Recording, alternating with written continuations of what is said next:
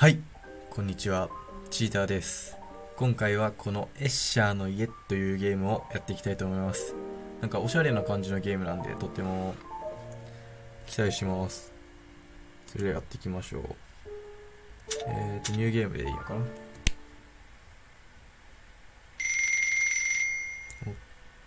主人公かな、これが。もしもし、私だよ。ウィリーだ。私は病に侵されてしまった。この病には長らく苦しんでいる。頼れるのは幼い頃から一緒に育ってきた親友の君だけだ。どうか私を苦しみから解放してくれないだろうか。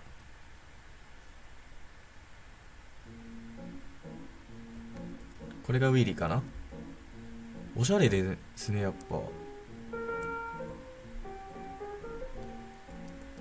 いや、おしゃれですね。じゃあ、とりあえず話しかけていきましょうか。ああ、ウィリアム。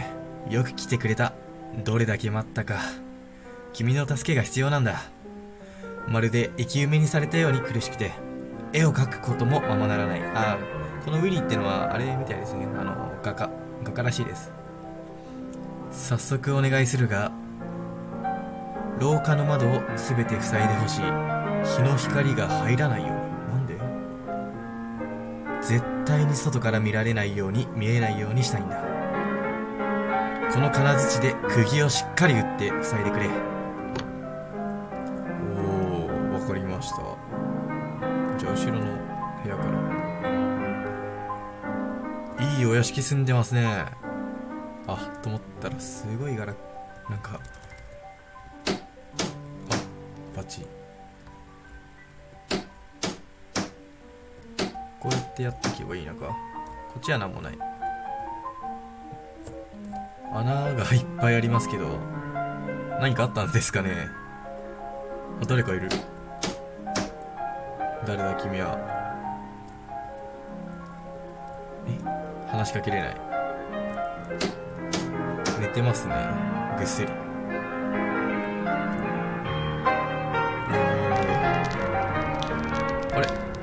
暖炉燃えてる？さっきまで燃えてなかった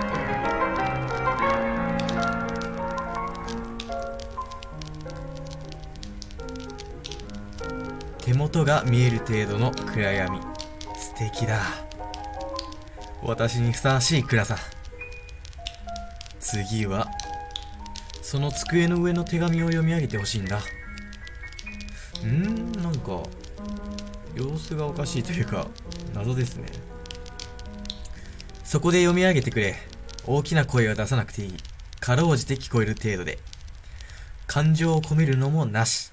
書かれたものを読む感じ。あ、じゃあ僕も何も感情を込めません。ん？ストップもう少し離れる。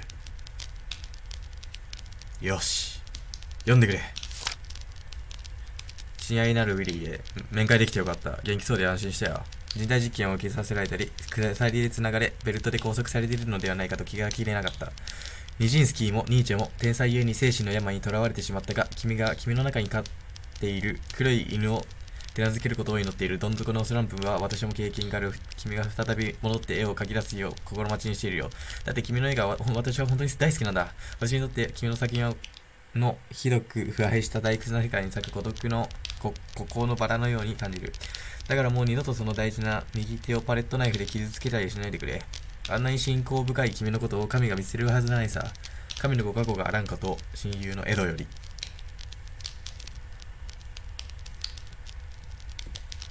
そっか。困ったな。私の、ん？美しい私のことが彼は大好きなんだね。ナルシズムだな。ナルシストじゃない。ナナルシストだな。いや、もうやめよう。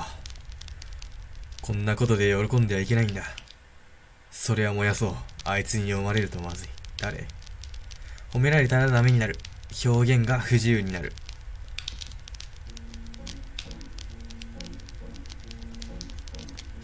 はい。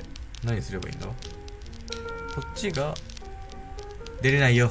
私が鍵をかけて閉じ込めたからね。閉じ込められたの？手伝いに来たのに閉じ込めると？は。あ、ピアノ弾ける。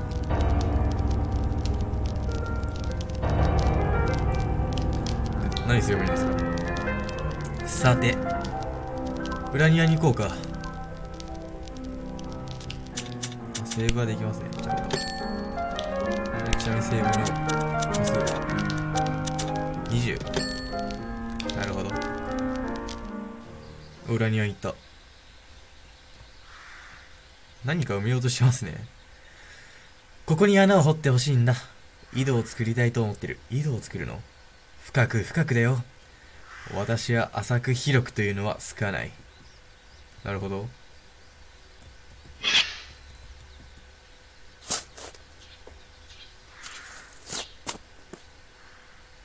ああ、ありがとう。本当に助かったよ。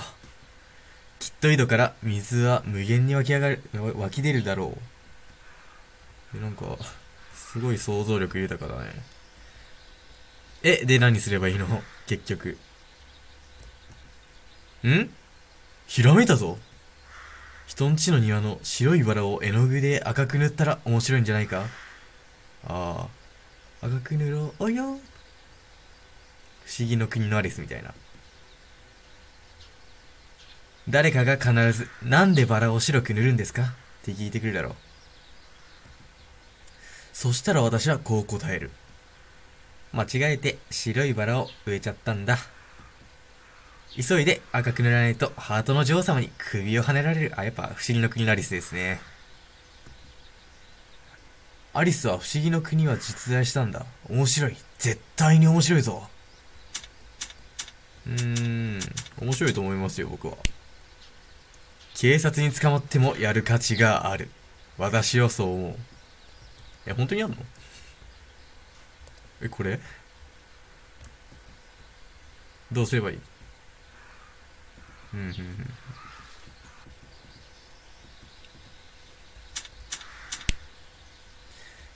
君に笑われ、君に笑われたって関係ない。私がやりたいと思ったことをする。え、私は何をすれば？はい。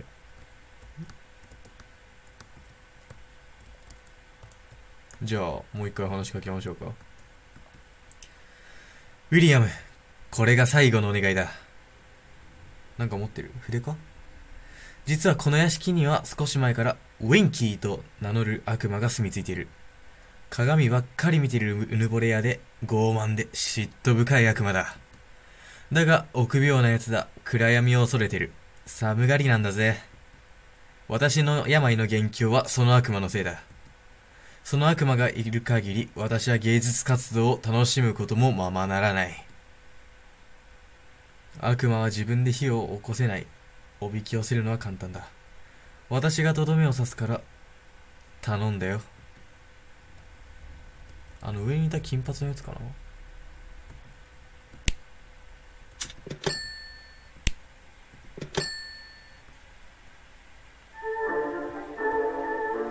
いやおしゃれですね本当に。おしゃれだな。悪魔に睨んでいる？これ悪魔？さっきに言ってたやつ。ん。え？何これ？人形？歌教員みたいな。悪魔が睨んでいる。何調べても悪魔に睨んできてますね。じゃあ話しかけます邪魔しないでくれ。今月の表面を塗ってるんだ。月を美しいと思わない人間はいないだろう。私は人類にとって普遍的な美しさをキャンバスの上に表現するつもりだ。なんて読んだこれ。凡百の画家では終われない。歴史に名を残すんだ。万人から愛される作品を手がけた人間は万人から愛される。そうさ。少し休憩しないか？そんな暇はない。暖炉で温まろう。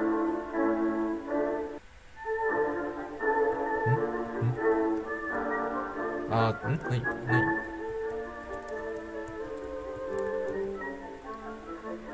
書いてる最中は、これ以上の傑作はないと思うのに。あ、すいません。間違えこうして一歩離れるとよくわかる。ここがダメだ。ここをこうするべきだというのが、それを繰り返していれば誰もから愛されるような完全な作品ができるはずだ。そうですね。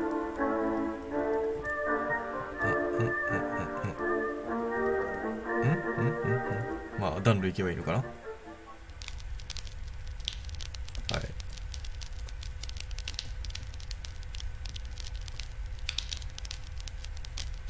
これが悪魔なのか。見た目は結構人間ですけど。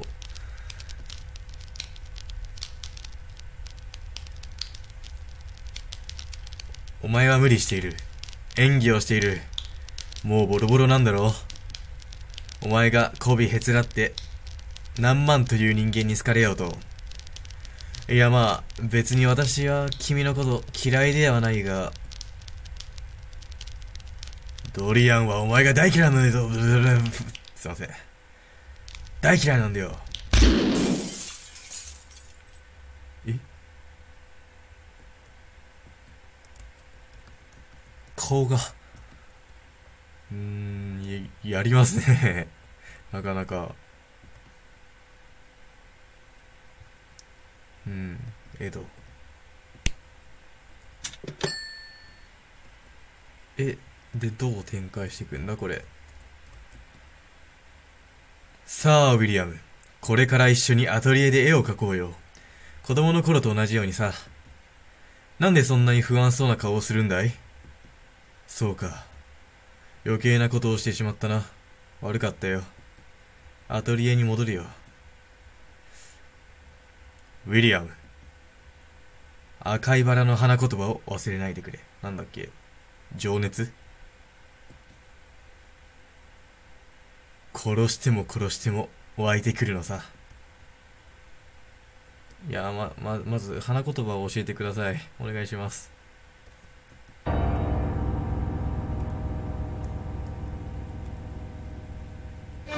ちょっと待て。ても美しい赤いバラだ。よく見ると造花だ。あこっち見てる。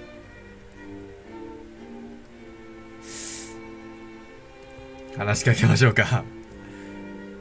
いやあウィリアム。待っていたよ。早速だがこの屋敷の窓を開けるのを手伝ってもらえるかな。どこかの愚か者が屋敷中の窓を木の板で塞いだ。こんな暗い場所は気がめいる。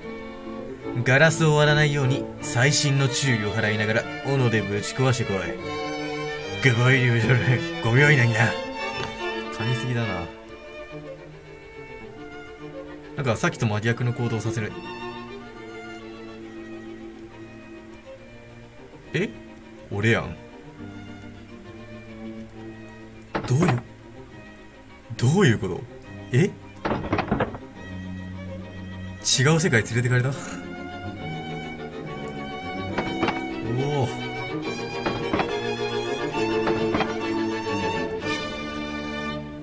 面白い。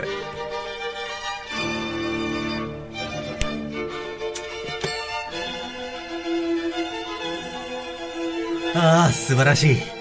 こうでなくては。それじゃあ次は手紙を読んでもらおう。そこのテーブルの上に手紙があるだろう。同じえ？テーブル？どれ？え？ないけど。え？見えない？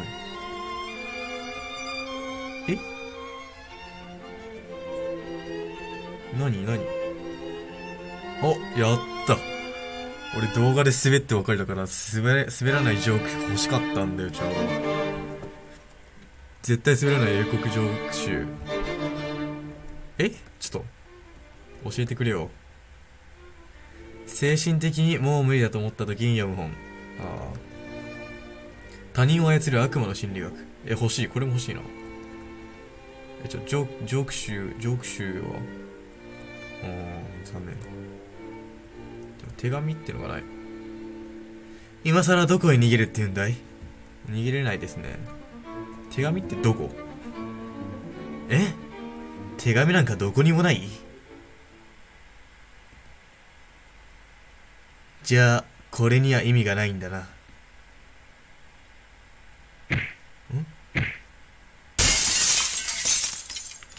裏庭に行こう。ちょっと待て、マジでわかんない。地獄の復讐がこの胸にたぎる。裏庭へ行くぞ。え？さっき掘った穴ですけど。赤く塗ってあるもう。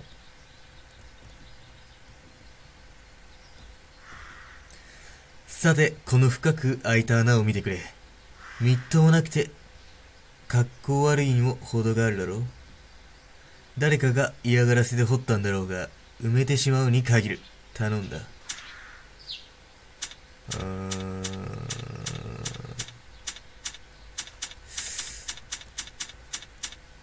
これ無限に繰り返してるの？いや、これが最後だ。私に従ってさえいればお前をここから抜け出せる。お前は若き天才画家に戻れる約束する。ん？ん？ん？ん？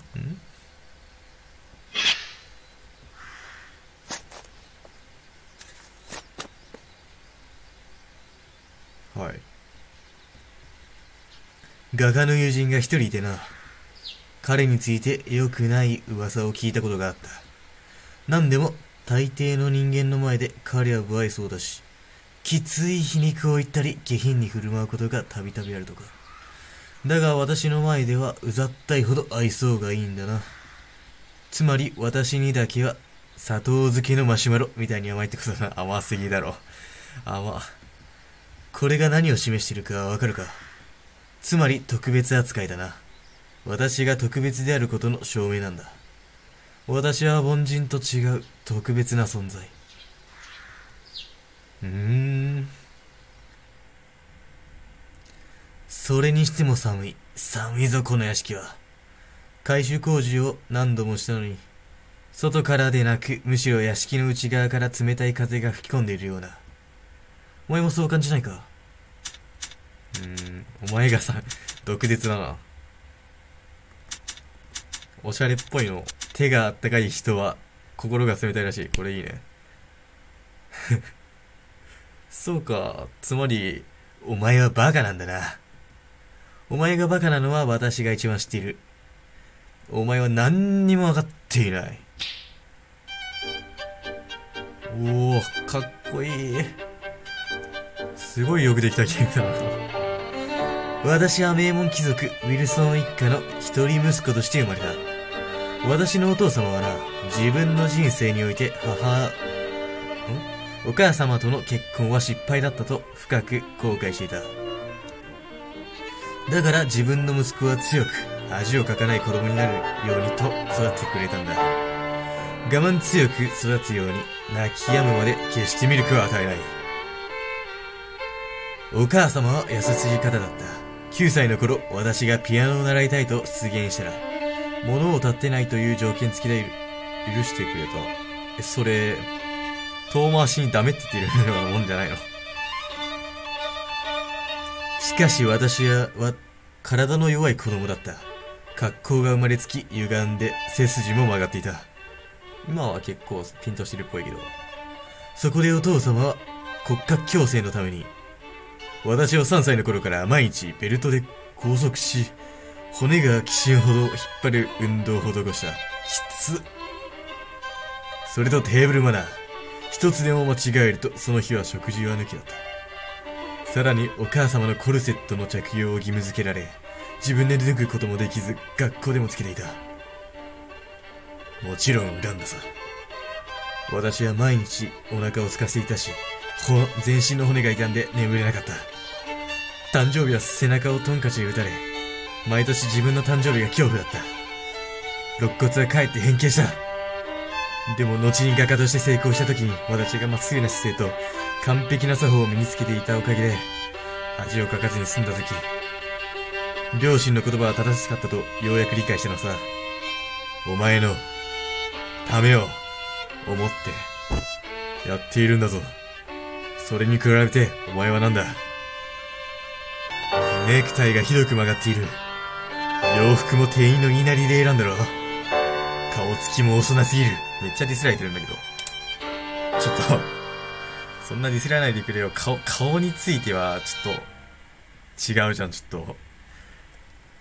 それでも大人なのかその喋り方はなんだすいません。ちょ実況者として、もっと、レベル上げていきます。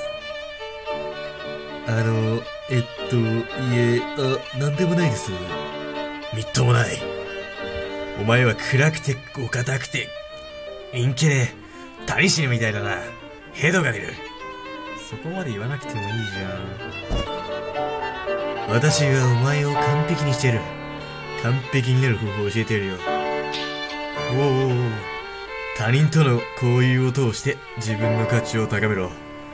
まず周囲の人間全員に点数をつけて回ろう。その人の才能、家柄、人脈でな。点数が高い人と仲良くするんだ。そいつの喜ぶことをしろ。高価なものを送れ。お世辞を言え。そしてそいつがお前が思ってる以上にお前のことを重要だと思っていたら、お前の勝ちだ。他人と自分をよく見比べろ。他人より踊っている部分が浮き上がってくるだろう。それを全てなくせ。完璧になれ。完璧になるんだ。どんな失敗作も修正に修正を重ねれば完璧な作品、完成品に仕上がる。実力、特別な才能特別な才能さえあれば、蝶が鼻に誘われるように勝手に向こうから寄ってくる。誰もに愛される人間になるのだ。絵と同じですね、さっき説明されたこの人に。ところであの、ウィリアムはどこ行ったんですかね？一番になればもう他人に嫉妬しなくて済む。幸せになれるんだ。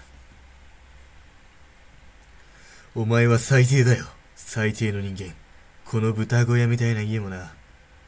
このままでは不完全すぎる。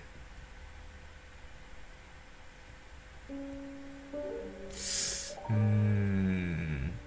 じゃ、なんか、意味は、わからないですけど、深いですね。じゃあ、今回はこれぐらいで終わろうと思います。あめちゃくちゃ面白そうなゲームですね。なんか考察もできたらいいなと思ってます。はい、じゃあこの動画が面白いと思った方は高評価、そしてチャンネル登録をお願いします。えーコメント欄にコメントもしてってください。それではまた次の動画でお会いしましょう。それでは、さようなら。